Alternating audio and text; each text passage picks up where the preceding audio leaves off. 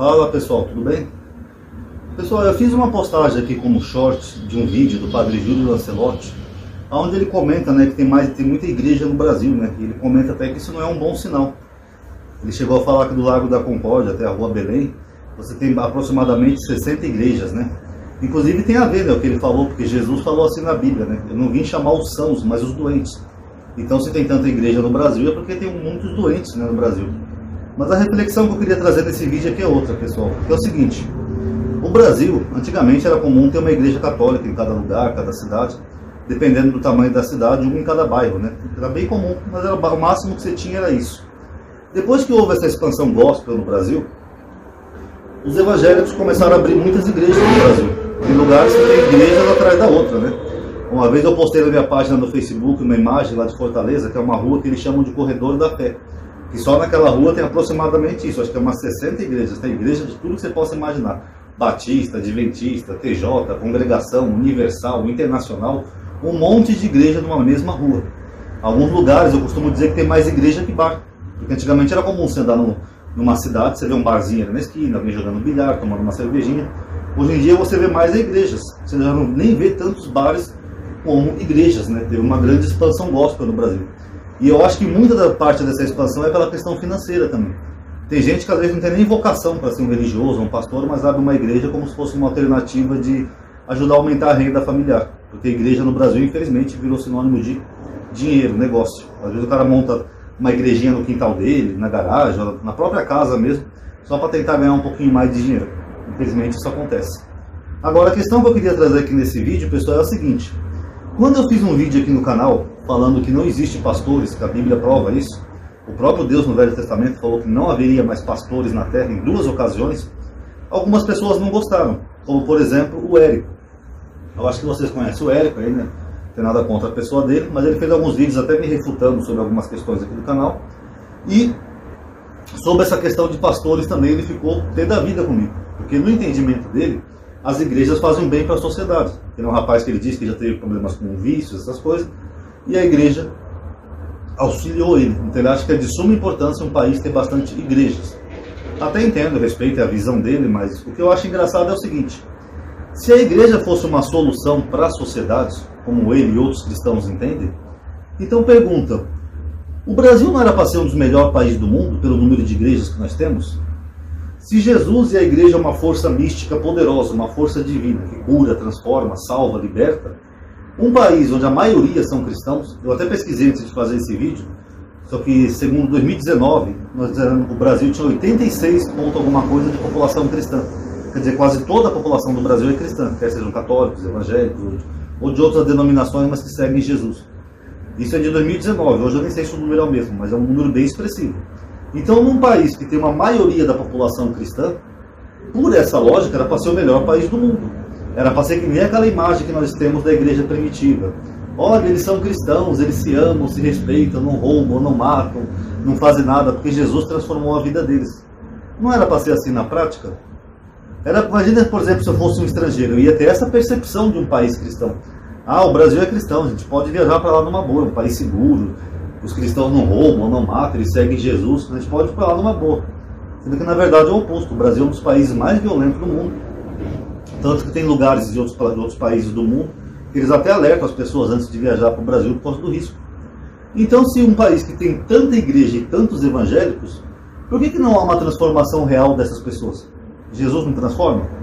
Mas a gente vê ao contrário, a gente vê até ladrões evangélicos, traficantes evangélicos, bandidos evangélicos.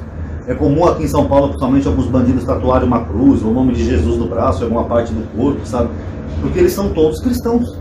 Aí fica essa pergunta, por que, que então que o Jesus que transforma, já que as igrejas são tão importantes num país, por que, que ela não transforma a sociedade como um todo? Porque ia ser muito legal você viver num país onde as pessoas fossem realmente cristãs e não tivesse violência, assalto, roubo, morte, todas essas coisas que nós temos aqui no Brasil. Por exemplo, quando alguém vai para um país islâmico, a gente sabe que os países muçulmanos eles têm a lei da Sharia. E na lei da Sharia eles mandam cortar a mão de alguém que comete algum roubo. Então o índice de, de criminalidade de roubo nesses países é baixíssimo. Porque lá o ladrão sabe que se ele roubar alguém, ele vai ter a mão cortada assim, não vai ter dó nem piedade. Então você pode ir num restaurante num, num, país muçulmano, deixar sua carteira sobre a mesa e no banheiro, sei lá, fumar um cigarro, você sabe que ninguém vai roubar sua carteira porque a pessoa não vai querer ter a mão cortada. Então você sabe que na prática aquilo funciona. É uma lei humana, é a Sharia, tal, não sei o que, mas dá certo. Agora, por que, que no Brasil não funciona? Por que, que no Brasil as pessoas não têm aquele temor religioso? Não, não vou roubar ninguém porque eu sou seguidor de Jesus e Jesus falou para a gente fazer o bem. Não era para ser assim na prática, pessoal? Um país maravilhoso, cheio de pessoas de bem, ninguém roubando ninguém, ninguém assaltando ninguém, ou pelo menos que esses índices fossem baixíssimos índices de criminalidade, violência. Na prática era para ser assim. Mas não é o que acontece. Além de ter até bandidos evangélicos, como eu falei, traficantes, ladrão, tudo que vocês imaginar, hoje em dia também nós temos escândalos e mais escândalos nas igrejas, que eu já falei naquele vídeo, né? É mais seguro você deixar sua criança numa boate gay do que numa igreja, porque as igrejas evangélicas estão ficando com a pecha de pedófilos, né, de pastores pedófilos, porque é tanto caso de pedofilia envolvendo pastor evangélico que eles já superaram até os católicos em número. Ué, cadê Jesus que não transforma essas pessoas? Então, se esses pastores, pregadores, estão lá nos púlpitos, com seus ternos, pregando que Jesus transforma, salva, cura, por que, que Jesus não transformou a vida deles mesmos? Por que, que eles fazem besteiras e atos é, horríveis, né, como a pedofilia, e você não tem uma intervenção divina nessas horas? Então a gente começa a se pensar, será que realmente isso existe ou é só um viés de confirmação? Que a pessoa, por exemplo, teve um problema com vício, alguma coisa, foi ajudada por uma igreja, mas a pessoa acha que aquele é um padrão, vai funcionar para todo mundo, a igreja vai salvar toda a sociedade. Primeiro que não era nem para ter viciados, né? Se é um país cristão, se todo mundo crê em Jesus, Jesus era para proteger essas pessoas até de adquirirem o vício. Pela lógica seria assim. Mas além de ter esses problemas, não é todo mundo que consegue ser ajudado por esses lugares. Porque a maioria dessas pessoas são basicamente um viés de confirmação. Uma pessoa vai lá, consegue e acha que aquilo é um padrão.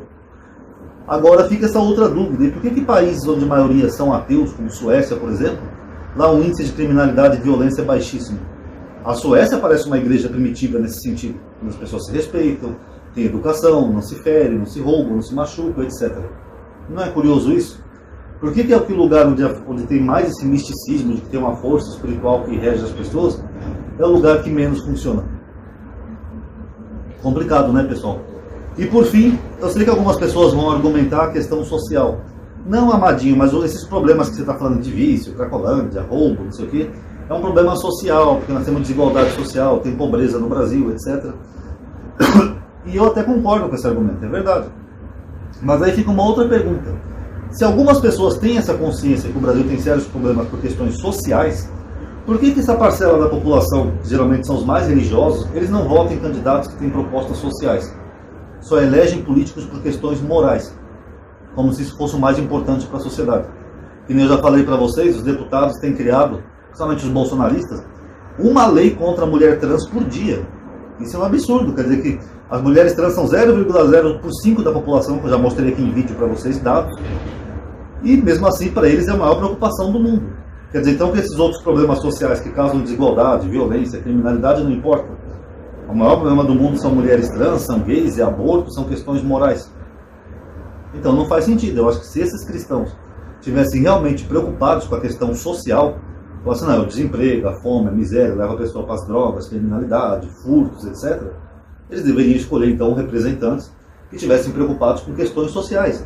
Olha, vamos criar um projeto do primeiro emprego para o jovem, para a molecada trabalhar, vamos criar mais é, restaurantes populares para as pessoas comerem a um real, Vamos criar cursos profissionalizantes nas periferias, para as pessoas terem uma profissão e aprenderem a trabalhar, etc, etc, etc. Isso seria bem mais importante do que questões morais. Até porque se o país é de maioria cristã, né, pelo menos quase 90% da população, essas questões morais não deveriam nem estar em pauta. Porque um cristão de verdade, ele já ia seguir os princípios morais da fé cristã que ele acredita, da Bíblia Sagrada. Não ia nem precisar ficar discutindo essas questões morais. Casamento gay, aborto, mulher trans, não é um país de maioria cristã? Então por que, que num país de maioria cristã esses problemas são tão ameaçadores para os cristãos? Ainda vem de minorias, né? São grupos minoritários que não chegam nem a 1% da população.